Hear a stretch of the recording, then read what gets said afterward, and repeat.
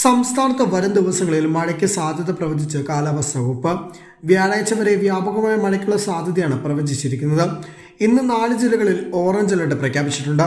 ഇടുക്കി മലപ്പുറം കോഴിക്കോട് വയനാട് ജില്ലകളിലാണ് അലർട്ട് ഉള്ളത്. ഒറ്റപ്പെട്ടയിടങ്ങളിൽ അതിശക്തമായ മഴയ്ക്കുള്ള സാധ്യതയാണ് ഓറഞ്ച് അലർട്ട് കൊണ്ട് അർത്ഥമാക്കുന്നത്.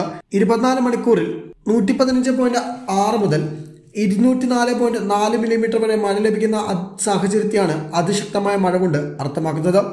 പത്തനംതിട്ട പാലക്കാട് കണ്ണൂർ കാസർഗോഡ് ജില്ലകളിൽ നിന്ന് യെല്ലോ അലർട്ടാണ്. അതേസമയം ചൊവ്വാഴ്ച മലപ്പുറം കണ്ണൂർ ജില്ലകളിൽ ബുധനാഴ്ച ഇടുക്കി പാലക്കാട് മലപ്പുറം കോഴിക്കോട് വയനാട് ജില്ലകളിലും വ്യാഴാഴ്ച എറണാകുളം ഇടുക്കി തൃശൂർ പാലക്കാട് മലപ്പുറം കോഴിക്കോട് വയനാട് കണ്ണൂർ കാസർഗോഡ് ജില്ലകളിലും ഓറഞ്ച് അലർട്ടാണ്. പതിനഞ്ചിന് പത്തനംതിട്ട ഇടുക്കി പാലക്കാട് കോഴിക്കോട് വയനാട് കാസർഗോഡ് ജില്ലകളിലും പതിനാറിന് പത്തനംതിട്ട ആലപ്പുഴ കോട്ടയം എറണാകുളം തൃശൂർ കണ്ണൂർ ജില്ലകളിലും പതിനേഴാം തീയതി തിരുവനന്തപുരം കൊല്ലം പത്തനംതിട്ട ആലപ്പുഴ കോട്ടയം ജില്ലകളിലും പതിനെട്ടിന് കോഴിക്കോട് കണ്ണൂർ ജില്ലകളിലും യെല്ലോ അലർട്ടാണ്. ഒറ്റപ്പെട്ട ശക്തമായ മഴയ്ക്കുള്ള സാധ്യതയാണ് ഇതുകൊണ്ട് അർത്ഥമാക്കുന്നത്.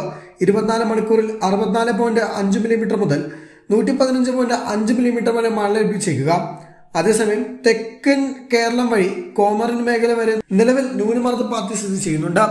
മധ്യ അറബിക്കടൽ തീവ്ര ന്യൂനമർദ്ദവും നിലനിൽക്കുന്നുണ്ട്.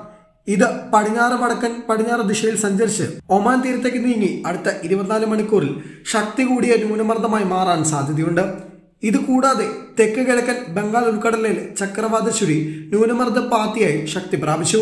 നാളെയോടെ ശക്തി കൂടിയ ന്യൂനമർദ്ദമായി മാറി തുടർന്നുള്ള രണ്ട് ദിവസം വടക്കൻ തമിഴ്നാട് പുതുച്ചേരി തെക്കൻ ആന്ധ്ര തീരത്ത് നീങ്ങാനാണ് സാധ്യത. ഇതിന്റെ എല്ലാം ഫലമായി വരും ദിവസങ്ങളിൽ കേരളത്തിൽ മഴ കനത്തേക്കും. അതിനിടെ അടുത്ത നാല് ദിവസത്തിനുള്ളിൽ പൂർണമായി വിടവാങ്ങുമെന്ന് കാലാവസ്ഥ വകുപ്പ് വ്യക്തമാക്കുന്നുണ്ട്.